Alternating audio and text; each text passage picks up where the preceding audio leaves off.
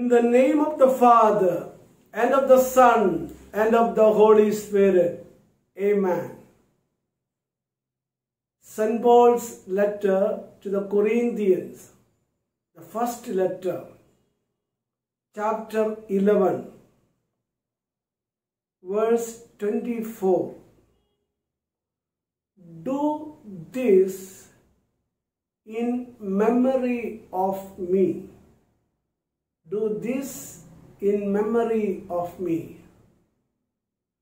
Dear friends, this word of God is related to the Holy Eucharist. I would like to teach you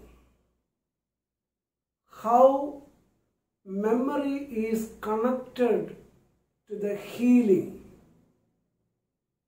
How to heal our body. How the memory is connected with the healing. When St. Paul is speaking about do this in memory of me, when we use this word in the Holy Eucharist, do this in memory of me, it is the word used anamnesis. It is a memory. It is a living memory. Living memory, it is an active memory. It is not the memory of the past. Something happened in the past, we are remembering. No, it is not remembering from the past. It is the memory we commemorate. We, the memory, the sacrifice of Jesus, we commemorate now, today, here, at present. It is a living reality. The memory has a, when we use the memory in the Holy Eucharist, remember that nuances of the memory. It is happening now. It is now. It is happening not of the past. It is now. It is today, not 2000 years back. It is today. It is not there in the Mount Calvary. It is here, now. And it is at present, now. At present, it is happening. That living sacrifice, it is happening, really, real, it is happening.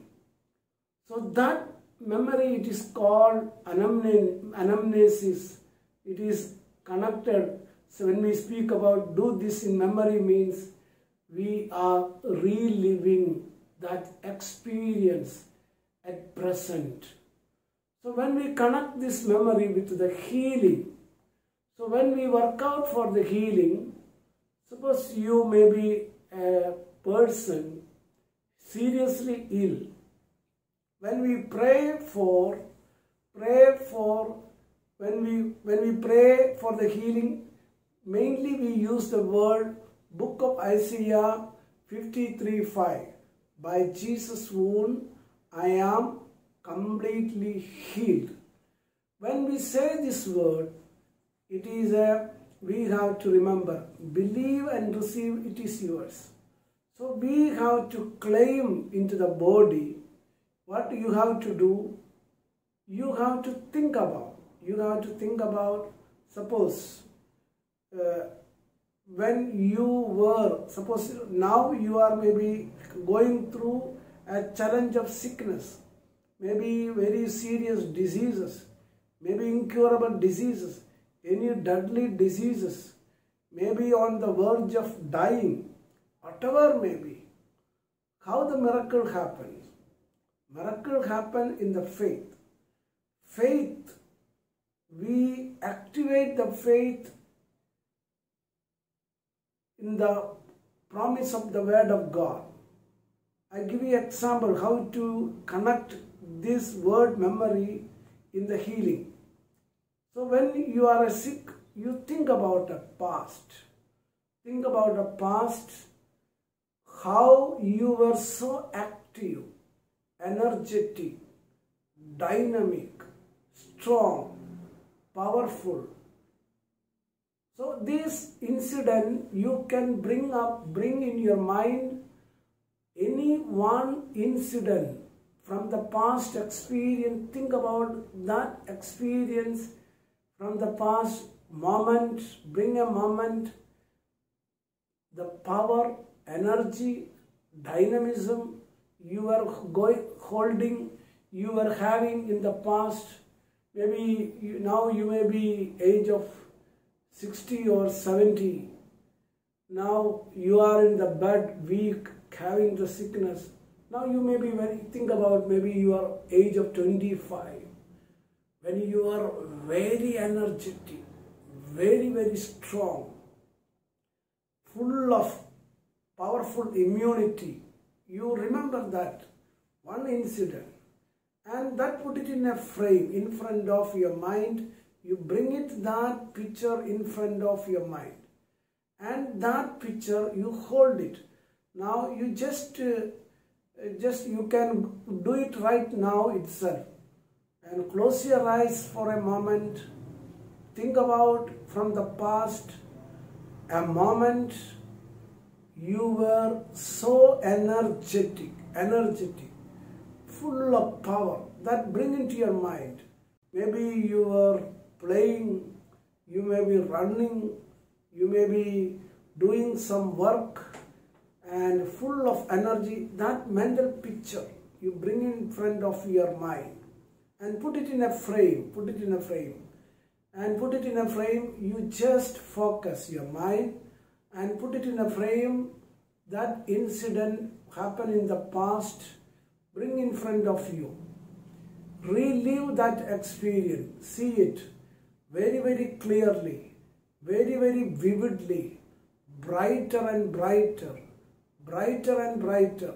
Relive, relive. Bring that memory, relive. You have to see it in front of your mind, that, that frame, and make it very dynamic. You can see the people around it.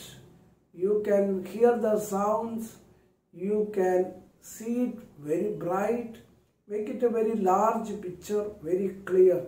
You can see your past now in front of you as a very, very energetic.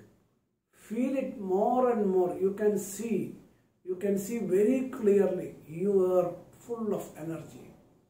Right now, when I say one, two, three, put that image into your physical body.